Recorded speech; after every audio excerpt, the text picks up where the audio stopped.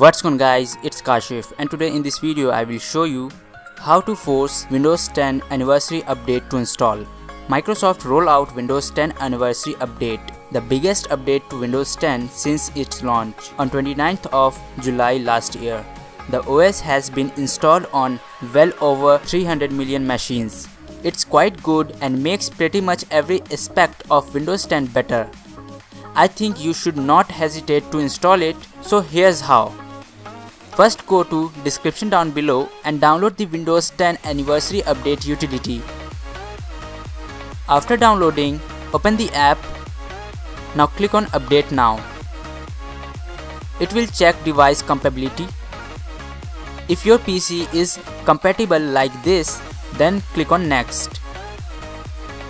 Now it will download the update it will take around some time depending on your internet connection. After downloading and installing, click on Restart Now.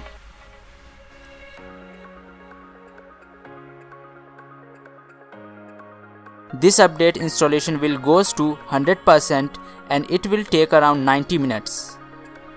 Now after the update installation, complete the setup. That's it you have installed Windows 10 Anniversary Update forcefully. Let's check out some features.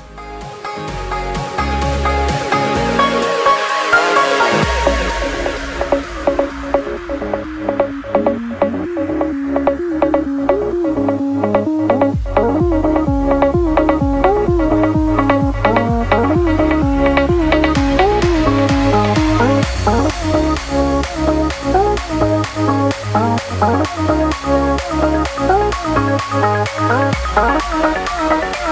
you.